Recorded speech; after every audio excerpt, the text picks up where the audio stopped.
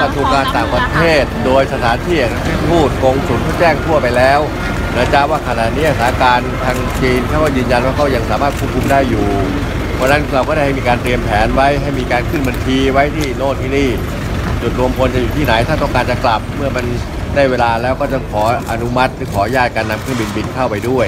เราก็เตรียมคณะชุดแพทย์ไว้แล้ว อย่างเมื่อวานท่านรัฐมนตรีที่ท่านผอปทอที่ช่วยกับเราโขมก็ชี้แจงไปหมดแล้วนี่จ้ะ การจะบินจะเข้าจะออกเนี่ยมันต้องขออนุญาตประเทศต้นทางเขาประเทศปลายทางเขา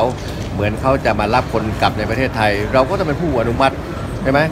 ตราบใดก็ตามที่เราดูแลได้อยู่มันก็ยังมีความจำเป็นเข้าใจป่ะไม่งั้นทุกคนก็จะพูดกันไปหมดอะ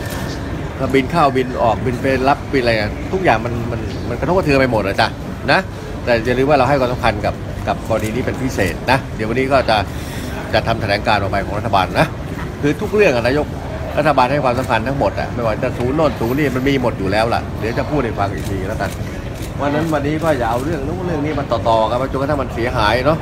ไม่งั้นคนทำเขาก็ไม่มีกำลังใจหมดอะทำงานไม่ได้หมดเพราะถ้มาตอบคำถามคนทุกคนนะมันไม่ไหวอะทุกคนที่รู้ต้องอธิบายต่อนะหลายเรื่องที่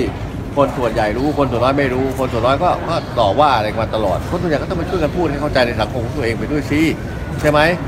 นะ ประเทศคือประเทศเข้าใจไหม ทุกประเทศมีกฎหมายของตัวเอง ไม่ใช่จะทำอะไรก็ได้เมื่อไหร่ล่ะ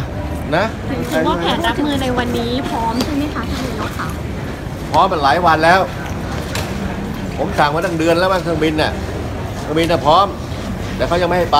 แต่ยังทุกอย่างมันต้องมีการเตรียมการล่วงหน้า แผนทั้งหมดนายกก็สั่งการไปหมดแล้วรัฐมนตรีเขาก็ไปทำอยู่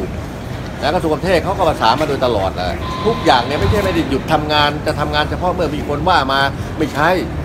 แต่ไม่จำเป็นจะต้องแถลงทุกเรื่องตลอดเวลาขอบคุณค่ะอันนี้แหละน